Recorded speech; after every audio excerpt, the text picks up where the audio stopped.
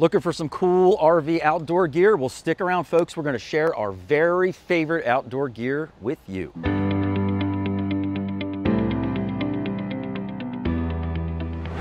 Hey everybody, Mike from RV Blogger here in front of the camera and Susan's behind the camera. And today we're going to be taking a look at some of our favorite outdoor RV gear that we use with our Class A RV. Now, a lot of the gear we're going to use, we have been testing now for quite some time. We really don't like to show products that we just bought yesterday because we don't know how they're going to work over time. But all the products we're going to share with you today, we've been using for thousands of miles and quite a bit of time. And uh, a few of the items I think you're really going to be interested in, especially towards the end of the video. So make sure you stick around to check those out. But let's get started with our review of all the cool stuff that we use on the outside of our RV. Now, one of my most favorite items to use outside is kind of a kind of a weird item, but it's this outdoor lighter. Now, the cool thing about this lighter is there's a few cool things about it. First of all, it's what's called a windproof lighter. So when you click this thing, it's like a like a little blowtorch. You can't see it but you can hear it. You might be able to see that flame a little bit coming out of there. But this baby is fantastic because if it's windy out, it doesn't matter. It still lights and I can light my campfire nice and easy. Plus, it's bendable, so if I want to, you know, squeeze in between some charcoals and get closer to the burner or, you know, move it at a weird angle, I can do that with this. And then the other really cool part of it is you can buy these cans of butane because this is a refillable lighter. So you just pop your can of butane, shake it up a little bit, stick it in the bottom of the lighter, and just hold it there for about 10 seconds or so. And then that will refill your lighter and you're all set. And on top of all that, it does have a little safety switch on here. So if you have little kids running around, it's got a little on off button. You just click it into the off position and now no one can push the trigger. So it's a fantastic tool. I'm not afraid to use it around the grandkids or any of that stuff. And it's kind of corny, but it's one of my favorite things. Now, one of my other favorite things is this table that my lighter's sitting on. Now, these tables, you might have seen this before in another video that we did about the favorite things on our Class C RV. These tables are fantastic. We've had this one for, I think, three years now. We have a red one in our Class C that I know we've had it at least four years, maybe going on five. And these tables have both held up really well over time. We eat dinner on these tables sometimes when we're outside. You know, you have your lighter here, you can throw it on top or throw it underneath to store things. It's got four cup holders built in so you can put your drinks in here. And it folds up into this nice little bag. It's skinny and it's like a half circle folds right up in there and you can carry it with you wherever you go. And so even if we go to visit friends at their campsite and hang out for some cocktails, we can bring our chairs and table very easily and then we're nice and comfy no matter where we are. Now another one of our very favorite items for outdoor is our propane fire pit. And Susan and I made the decision to switch over to a propane fire pit for a number of reasons. We used to make campfires with wood all the time. Or we'd bring our secret uh, Duraflame, log, put that on the bottom, and then put camp wood on top of that and burn it. But we ran into a few issues with that, right? Number one, we would stink like a campfire afterwards. Our clothes would smell, our hair would smell, we'd have to take a shower or go to bed smelling like a campfire, and then our bed smells like a campfire. Um, and the other issue we had with it is when we were ready to go in, you know, we there was always this debate, like should we know, throw another log on the fire or are we going to go in? And then, you know, if you throw the log on and then decide to go in, now you're just burning fresh wood for no reason. And then finally, we had to douse the fire at night. And so we would always get a bucket of water, pour it on our on our coals, but of course that just creates a ton of smoke and we would essentially smoke out the campground just putting out our fire at night. So for all those reasons, we decided to go with a propane fire pit. We can enjoy our fire outdoors. We don't smell like smoke when we're done. We can also turn it off when we're ready. So we can come out and enjoy a fire for 20 minutes or two hours. It just doesn't matter. And um, so we went with an Outland fire bowl or fire pit and for a couple reasons on that as well. Number one, they have what's called a Helios burner, which basically is a circle burner and then it's got some pieces in the middle also that also create a flame. So instead of just getting a fire around the perimeter, we get a nice looking fire throughout all of these lava rocks and it looks really, really great. Now the fire pit itself has all these lava rocks in here, but it does come with this cover so that when we're driving down the road, we can stow everything away, nothing falls out, none of the rocks fall out or anything, and everything stays pretty clean. And then it's got this little, you know, quad system on top that you just clip into place and you can carry your grill with this little handle on top. So it's really, really convenient and it works very, very well. We've been using this for quite a while now and it's, it's worked great every time we've ever used it. Now another really great benefit about this brand of fire pit is that you can convert it over to a low propane situation. And so what we've done is you can see here, I've replaced the parts that would normally be here and I've added my own hose to this and then this hose goes right to our RV because our RV has a place to plug in a propane line. So I bought a 20 foot cord and now I can run my line 20 feet away from my RV. We can sit out here nice and safe and away from the RV and it works really, really great. And I'll put all of the links down below for all the parts you need to make all this happen, to make the transition, because these are meant to run off of a 20 pound or a 30 pound propane tank, much like a gas grill does. But I didn't like having that propane tank sitting around. I thought it was unsightly and I don't want to have to carry extra propane tanks. And my rig has a place where I can plug right in. So this is really the perfect option for us. And again, not all fire pits are easily adaptable uh, to the low pressure propane system on your rig, but the Outlander are. So these will work for you. And it's really quite simple. I mean, you just turn it on. There you go. It lights right up. And we're doing this during the daytime, so I'm not sure how great it'll show up, but you get a really nice fire out of here. It's very nice and warm as well when you're sitting around it. And the longer you sit in front of it, the hotter these rocks get and the warmer your fire gets. And so it really becomes a perfect alternative to a wood fire. Now, my next favorite item on the list is also related to propane, and that is our Weber grill. And this baby is completely awesome. We can cook on here, we can smoke on this grill. Um, we even just got a pizza stone so we can make pizzas on the grill. We haven't used the pizza stone long enough to show it yet, but that will be in a future video, I can assure you, because you guys know I love pizza. But this grill is fantastic. Now this is the Weber Q1200 grill. And I'm saying that because not all grills are adaptable to a low pressure propane that comes out of your rig. But that same 20 foot hose that I use to uh, light up the uh, campfire, I also use for the grill. And this is just tremendous. I don't have to mess around with propane tanks and all that stuff. There is a little bit, a few pieces that you have to buy to adapt the grill so it will connect to your RV and I'll throw those in the links down below too. Um, and not all grills will convert. I, I wasted my money. I think I spent 160 bucks on another grill and I just couldn't get it to work with my RV propane system. So the Weber Q1200 is one of the grills that you can convert. And so I highly recommend it because it just cooks great.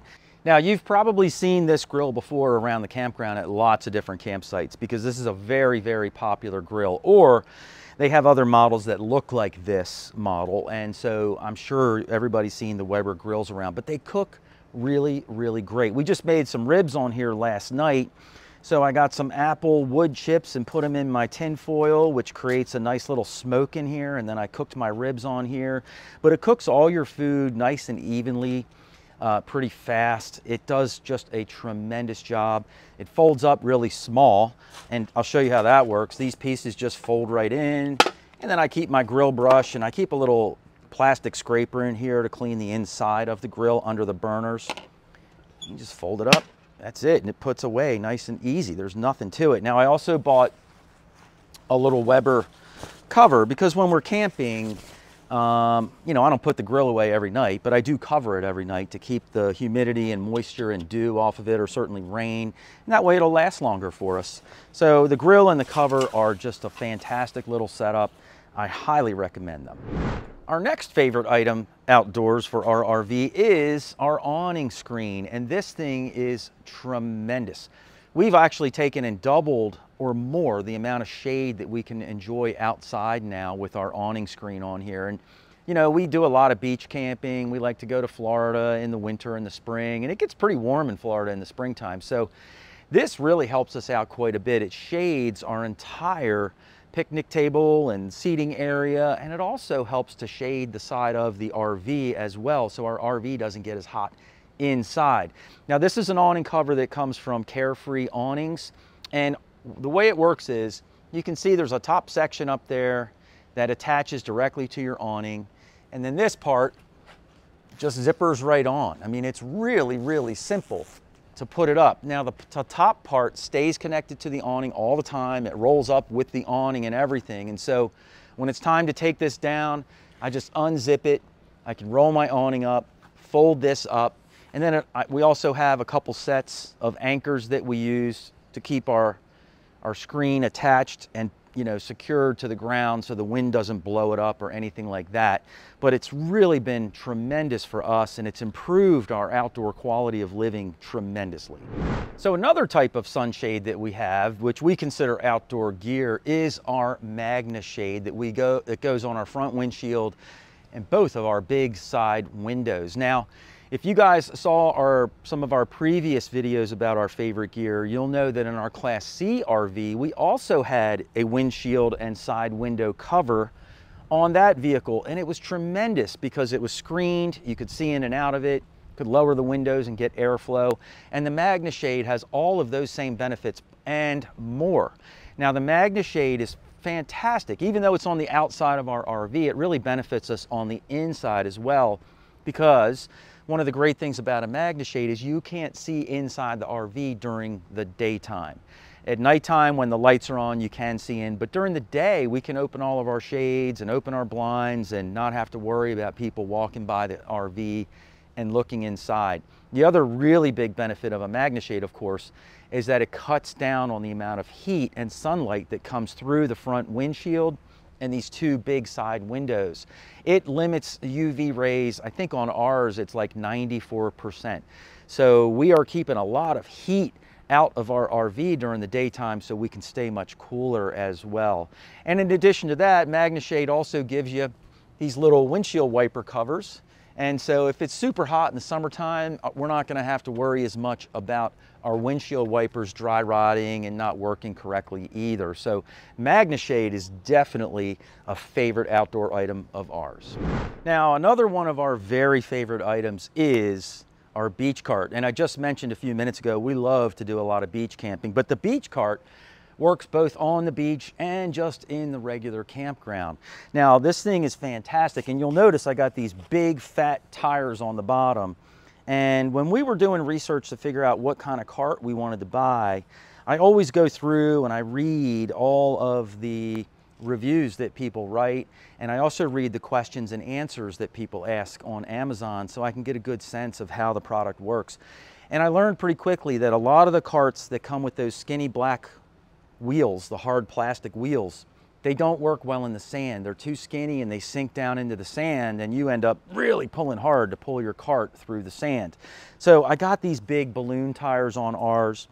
And the whole idea here is, you know, the more space that you have on the sand with a big fat wide tire, the more likely this is to float on top of the sand and ride much easier. And this cart absolutely does that. And we load this baby down with all kinds of stuff. But let me show you how it works real quick. You just un undo this little cover, undo the zipper, and it just pops right off. Now in the side pocket of the cover, you want to hang on to that for a second. Then you've just got a little Velcro strap here that wraps around it, and that's it. You just unfold it out. It's that simple. And then this piece just goes right in here and creates a nice hard bottom for us. Now the handle on this just lifts right up and then it comes forward and there you go. You're pulling all your beach chairs, your cooler, uh, your beach bag. We have little beach tables we bring with us to the beach, or we also use it around the campground. Let's say we're gonna go, I don't know, visit our friends Chris and Katrina from our everyday getaway, because we end up at the same campgrounds a lot. So we're gonna head over there and hang out for some cocktails. So we can throw a couple chairs in here, throw our cooler in here with some drinks in there and walk on over, over to our neighbors and enjoy a fun evening together. Or on the beach, it works like a champ. Now, I don't know about you guys, but keeping your RV clean on the inside is kind of tough, you know, because you're tracking dirt and grass and sand, in our case, in and out of your RV all the time. Well, we actually use a grass mat outside of our entry steps. We did this in our Class C RV for five years. These grass mats are terrific. I mean, they get your shoes nice and clean on the bottom. We don't really wear our shoes inside, but we at least walk in and then we take our shoes off immediately. And these grass mats are just perfect for that. We have one grass mat in our Class C. We bought another one for our Class A. We like it so much and we've been using them for over five years and they hold up really, really great. Now this year we also did a little add-on and we bought little step covers for each of our steps. And these have been terrific too because once we clean our feet on the grass mat, now we have to cross over these as well and it just keeps us even cleaner before we get into the RV and kick off our shoes right at the entryway. now, I also want to get into some of the more I guess, technical items that we use on the outside of our RV that we also love. And the first thing is snap pads. We've got snap pads underneath here on all four of our leveling jacks. They were the very first thing we bought when we bought our Class A RV, and these are tremendous. You know, snap pads are great because you don't have to climb under your rig and put anything under your levelers during the leveling process. They are on there they snap right into place and they stay on there all the time. Even while we're traveling down the road, our snap pads stay on the bottom of our levelers. It just makes life so much more convenient. When we pull up to the campground, first thing we do is put the levelers down and then we can go ahead and put our slides out and get all set up. But with snap pads, everything is just so much more convenient. Now you're about to see something you've never seen before, and that's inside one of the bays of our RV. Now this is my tool bay, and I can tell Susan's nervous already that I'm gonna open this up and you're gonna see inside here, but it's not in that bad a shape. I keep it pretty all right. It's, it's pretty organized. It's not terrible, right? It's not horrible. It's not horrible. but the one thing I wanna show you in here is my air compressor. Now, if you own any kind of RV that you know needs tires pumped up more than 60 psi, it's really, really tough to find a gas station that has an air pump that's over 60 psi. Ours need 110. So there's no way we can just pull into a regular gas station and inflate our tires if we need to. So I bought the VIAIR uh, air compressor for Class A RVs. Now, these come in different sizes. They make them for Class A RVs, Class B RVs, Class C RVs, and travel trailers and fifth wheels. So you can go online, um, we got this from Techno RV, so I'll put a link to their website. But Eric and Tammy at Techno RV do a great job creating videos explaining all of this stuff so you buy the right thing the first time. Ours is tremendous. It inflates our tires quickly. It doesn't have to recycle for a long period of time. There are actually two hoses in here, so I can extend my hose reach uh, up to about 30 feet, which is really great. I can get all around the RV with no problem. And then the air compressor itself is really small. And I'll show you some of the accessories that I have with it as well. But the air compressor is just this big. That's all it is. And you set this baby on the ground. Now this connects to your battery. So I'll have to raise the hood in the front of my RV, connect this to the motor battery, and then I can run my 30 feet of cord around to pump up all of my tires. Now, the air compressor is great, but it also serves many other purposes for us. Number one is that I sometimes have to make repairs inside the RV, and we made a video about how I've repaired all of our drawer bottoms throughout the entire RV to strengthen and bolster them so the bottoms don't fall out while we're driving down the road. I needed a nail gun to do all that. And my nail gun also connects to my air compressor. So if I have to make repairs to trim, cabinetry, drawers, anything wooden inside that I need nails to shoot, I'm all set. I have everything right here that I need. The other thing that I use this for is I bought a little air gun blow kit, air blow gun kit, whatever you call it. And basically it's just a little handle. Psh, psh, psh. You can blow things off. Like we've had tons of dust inside of our storage bays. I blow them out. We had dust all over the engine of our Jeep one time. I blew all that off. You can blow the leaves off your patio, stuff like that. So an air blow gun works really, really great with your air compressor. And then the other thing that I bought, which I haven't used this yet, but it, it's available through Techno RV, and they have a winterization kit that fits to your air compressor so that instead of having to use RV antifreeze to winterize your RV, you can blow out all your lines with your air compressor and it has all the fittings for you to be able to connect to your plumbing system and do just that. So this has been a tremendous tool for us. And even though I haven't used the winterization kit yet, I know people that own this and they say it works great. So I'm happy to recommend it here in our video as well. We're not even gonna winterize our RV this winter. We're gonna leave it in Florida as we head home to Maryland for the holidays and then we'll drive back down to Florida in at New Year's anyway. So, uh, but at some point I know I'll get a chance to use it. And again, we know plenty of people that have it and say that it works great. Now, I don't know how anybody can be a YouTuber without making a video and getting rained on a little bit, but we seem to make it happen all the time. So here we are in the rain, but talking about our favorite outdoor gear. it's just spitting a little. Anyway, another one of our really favorite items is this bike cover. Now you might have seen in some previous videos, we talked about our Thule bike rack and our electric bike, electric bikes that we have.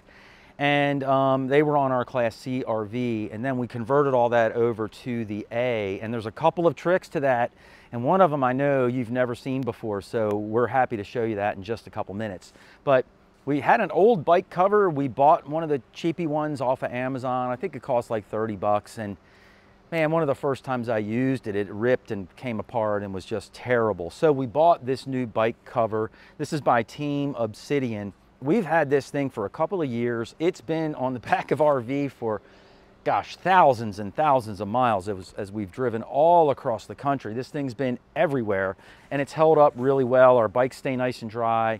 It doesn't rip, tear, fall apart, blow off. All I do is check it every now and then and make sure it's kind of staying in place and we are good to go. So this has been the best bike cover we've ever had and I recommend it all the time to our subscribers and now I'm recommending it to you as well. Now these last few items kind of all go together a little bit and I'll show you why as we go through this. But you know, one of the biggest game changers that we've ever experienced with camping was getting our Blue Ox tow bar when we got our Class A RV because it's allowed us to tow our Jeep behind us. We made a video all about the Blue Ox tow bar. Um, and so if you want to check that out, just click the gray box up top here. But basically, the Blue Ox has been fantastic. We've been able to tow our Jeep. It's super easy and fast to set up and get going on the road. We literally can set up our Jeep in less than 15 minutes, including the tow bar, the brake, checking all the lights and all that good stuff, and we are heading down the road. Now, when we first hooked up our Jeep to our Class A RV, we had to hook the Thule bike rack up to the back of the Jeep. And that's because when we first got our Class A, we just had a single hitch on the back that our, our Blue Ox connected to. Then we took the Thule bike rack and this connects to a hitch as well. So we connected the Thule bike rack to the hitch on the back of our Jeep. Now, that's all fine, well, and good, but it creates a very big problem. And that is when these bikes are on the back of our Jeep, two things happen. One is we can't open the back door to the Jeep anymore. And number two, you can't see any of the lights on the back of the Jeep. So if we hit our brakes or we're using a turn signal, no one behind us could see that because the bikes are here and they have that big black cover over them. And that's it, man. It's a very dangerous situation. So we quick, quickly realized we can't do that. And so we found out about what this is called, and this is called a dual hitch receiver. And this plugs into the main hitch in our RV. And then this dual hitch receiver works in two ways. First way is on the bottom, that's where our Blue Ox tow bar attaches to it.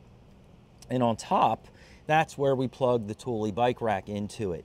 Now, you might be wondering, and if you and if these are too close, by the way, you can't make your Blue Ox tow bar hitch. And so ours is a four inch difference. They make these dual hitch receivers in either two, four, six, eight, or 10 inch differences. And the main thing that you want to do when you buy one of these is make sure your bottom hitch is in the right position so that your tow bar stays level when it connects to your tow vehicle. And I'll show you how this works. It's really simple. We just take the cover off, just lift it up, and it swings right over. And now we can pull them out and connect them back here to our Jeep. And this allows us to store both our bikes on top of the hitch and tow our Jeep behind us. So it's really been a fantastic setup. It's one of the things I'm most happy about. Now I bought this from Roadmaster. It's rated at 10,000 pounds. And again, they make these in two, four, six, eight, or 10 inch spreads. So depending on how you need to set up your rig to make sure these tow bars are level from from here to the front of your vehicle, that's what's most important. And then your Thule just sits on top of that. And now you can ride down the road nice and safe without having any problems. These are just a few of our favorite outdoor gear items that we use that make our lives so much easier and so much more fun while we're on the road. But if you have some gear that you use that's your favorite, we would love to know about it. Put it in the comments down below. We'd love to hear from you. And we might learn about a new piece of gear we want to pick up ourselves and give it a try to make our lives easier. So please share all that in the comments down below. And if you've liked this video, please give us a thumbs up and subscribe to the channel. We'd love to have you join on board. Susan and I put out new videos every single week, and we'd love to see you guys in the comments every single week as well. But if you want to check out some more of our how-to videos and how we do things and gear that we love, just click the box down below. And Susan and I will see you in the next video.